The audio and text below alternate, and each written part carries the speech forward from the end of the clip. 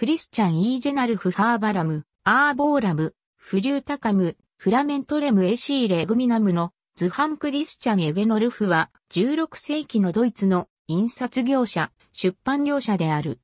フランクフルトで最初に出版を始めた人物であり、エゲノルフの出版した書籍には、本草書、ハーブ、木、低木、野菜や穀物があり、また数学者のアダム・リースや、神学者、デジデリウス、エラスムス、ウルリヒホンフッテンなどの書籍の再刊がある。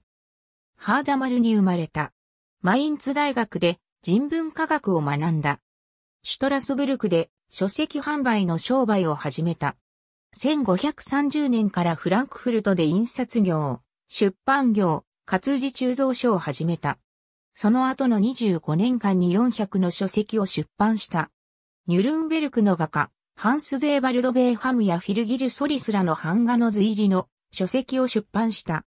孫娘と結婚したヤコブ・サボンと新しい活字体の開発の仕事をしたことでも知られる。エゲノルフの本草書は1533年にハンス・バイディッツが挿絵を描き、オットー・ブルンフェルスが解説した植物写生図譜から多くの図を流用したもので、出版社のヨハン・ショットから著作権に関して訴えられることになった。エゲノルフは自然の植物に著作権のないこと、植物はすべての画家にとって共有の対象であることを主張した。1535年にドイツ語の聖書を出版し、自らが編集した年代記を出版した後ハンス・ザックス、ヨハン・アイヒマン、ゼバスティアン・ミュンスター、フィリップ・メランヒトン、セバスチャン・フランクらの著作を出版した。